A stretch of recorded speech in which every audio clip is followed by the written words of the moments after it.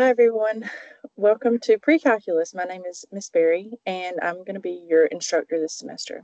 So I'm going to make a quick video here to just tell you all of the important information about our course and um, hopefully answer any questions that you have. All right, so I'm going to flip my screen around and we'll get started.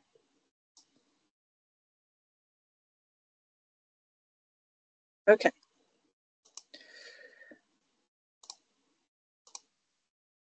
All right, so welcome to pre-calculus. Okay. On the agenda for this short video is just a brief introduction, um, an overview of our course, um, the required course materials that you will need to purchase, the methods of evaluation. We'll talk about how do I handle late or makeup work, and then we'll talk lastly about exams. Right, so this is my family. My name's Jamie Berrie. Um, you can see my email there. Just uh, usually, if you just type in, start typing Jamie, um, my my little icon should pop up if you're trying to email me. Um, I am married. That's my husband Josh. Um, we've been married for about uh, since 2018, and those are my two children, Jude and Rachel. Um, my office is located in Jones 146 um, on the on the bottom floor of Jones in the little math suite. And there's my office phone number 912-279-5932. Um, and that is a landline. So if you um, you know you can't text that number, but you can call me and leave me a voicemail, and I will uh, call you back or email you back. All right, so the required course materials, uh, there are two things that you'll need to purchase. The first is a Hawkes Learning Access Code. Um, you can purchase this either directly from the bookstore or you can purchase it uh, for a little bit cheaper if you purchase directly through Hawkes, right? So now if you did take college algebra here at CCGA, then you do not need to purchase an access code.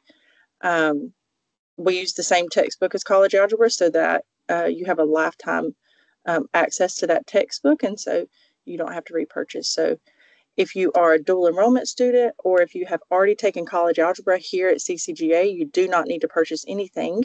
Um, but if you are, um, if this is your first time taking pre-calculus or um, college algebra or any of those math classes at CCGA, then you will need to purchase an access code. Again, if you purchase it from the bookstore, you can use your financial aid. It's just a little bit more expensive. If you purchase directly through Hawkes, you get a little bit of a discount. Um, and you do get a two week free trial. So starting at the first day of classes, you get a two week free trial. So you have a little bit of time to figure that out. And then again, if you took college algebra here at CCGA, you already have access to our textbook. You do not need to purchase another access code. Um, you will need a graphing calculator for this course. Um, it is recommended that you use the TI-83 or TI-84. Um, the, I'll be using the TI-84, so uh, that'll just make it a little bit easier for you to follow along with my videos. Um, but there are less expensive options available, um, and they work just as well. So uh, specifically, probably Casio would be a, a good, less expensive option. Right, you're also going to need to have a reliable internet connection. Um, all of your assignments are completed online. This is an online class, so a reliable internet connection is really important. Um, if you know that your internet at home is not stable or not reliable, just you know, don't take your exams there. Don't plan to take your exams there. Um, you can use the campus Wi-Fi, um, which is is pretty good and pretty stable. And uh, you could also, of course, just use one of the computers in the library. Um, they already have all the necessary software downloaded, um, pre-downloaded on them. So you could do that as well. Uh, if you do decide to take it in the library, just maybe bring some noise canceling headphones. That way you don't get um, distracted. And you will be required to use Respondus Lockdown Browser with Monitor. Um, this is a, a, web browser that is free to CCGA students. You will never um, have to pay for that. So if you're in the middle of downloading that and it wants you to type in your credit card number or something, then you've done something wrong. Um, this is totally free. If you open the computer ready quiz that's in our D2L course, you'll be prompted to download or update if you've used it before, um, the Respondus Lockdown browser. Right, so again, that's just a lot, that's a browser. It's just like Chrome or um, Edge or Firefox, Safari. Um, but it just locks down the computer so that you cannot open another window and Google the answers or um, open up a calculator or anything like that. Um, so it's just a specific type of browser that, that locks down your computer so that just makes it um, a little bit more, uh, what's the word?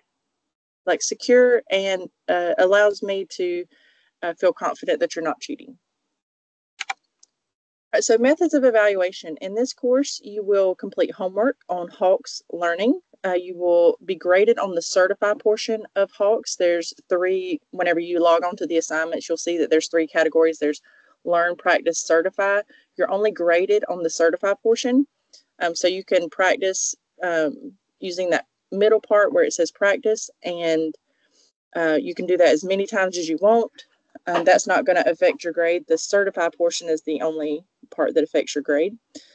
You will have unit exams on D2L. Those are worth 50% of your grade. And then the final exam, which will be administered on D2L, is, is worth 25% of your grade.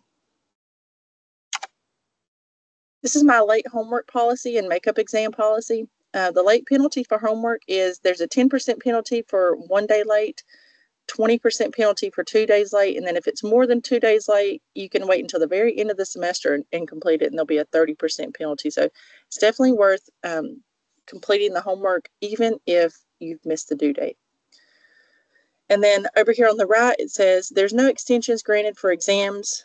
Um, late exams will not be accepted. However, the final exam will replace your lowest test grade, including a missed exam. So if you just accidentally miss an exam, um, then the final exam will replace that missed exam grade as long as it benefits you. Um, and this policy, of course, does not apply to cases where I've given you a zero on an exam due to an academic integrity violation. Um, I'm I'm typically very, uh, you know, willing to uh, be flexible and stuff like that. If you let me know beforehand, like, hey, I've, I've had students before say like, hey, I'm I'm going to be out of town this weekend. Um, can I take the exam early? That's totally fine. I don't mind doing that. Um, but we can't wait until after the exam has the exam window has closed and then take the exam. All right. So you've got to communicate with me. Let me know beforehand that you're going to be out of town, or maybe you have, you know, some event that you're going to be doing that weekend. You just got to let me know and we can um, make arrangements. But you can't wait until after the exam window has closed. All right. So let's talk a little bit more about exams and then we'll wrap this up. All right, so all exams are going to be administered online via D2L. You can access the exams by clicking on the Assignments tab in, in our D2L course and then selecting Quizzes from the drop-down menu. You are, like I mentioned before, you are required to use Respondus Monitor, excuse me, Respondus Lockdown Browser and Monitor on the unit exams and final exam. That means that there's going to be a webcam that is recording you uh, while you take the exam, and that just you know, assures me that there's no one sitting behind you giving you answers or, um, you know, that you don't have a phone out and you're Googling stuff. Um, so it just gives me that peace of mind that I can um, guarantee that, you know, the right person's taking the exam and that you're not cheating. Now, you will be given two attempts at each exam, right? So you'll take the exam and then you'll have an additional attempt. If you want to you obviously don't have to take the second attempt if you're happy with your grade on the first attempt. Um, but just know that the questions are not going to be the same on the second attempt so it's just randomly generated. I have a bunch of questions in my question bank and it's just randomly generating those questions. So it'll be the same type of question but not the exact same numbers. All right so you're given two attempts but questions will not be the same on the second attempt and then over here on the right, some frequently asked questions. You are allowed to create your own formula sheet for most exams. So when we are in the algebra portion of the class, you will be allowed to create your own formula sheet. Um, whenever we get to the trigonometry portion of the course, I will provide you with the formula sheets because there's a lot of formulas. Um, and I want to make sure you have everything that you need. All right, so when we get to trigonometry, I will provide you with um, the unit circle and with the formula sheets. Um, and you will not be allowed to add anything to those formula sheets that I gave you, those pre uh, prescribed formula sheets. All right, so just some final tips and takeaways. Reach out to me if you need help. I'm very uh, flexible and very, um, you know, try to be friendly and Uh, if you need help, you got to let me know. I, I don't know unless you tell me. Uh, make sure that you're checking D2L every Monday morning for a rundown of what I'm expecting of you to do that week. And make sure that you're staying on top of your work. This course moves fast. We are covering two whole classes in pre-calculus. We're covering college algebra and trigonometry. And the work will start to pile up if you let it. So you've got to um, be consistently working on this class every week. Um, and that's more on that on this bottom bullet point on the right. Set aside a dedicated time each week that you're working on this class and then try to work in small chunks so you don't get overwhelmed. So don't sit down and think, okay, I'm about to knock out five homeworks.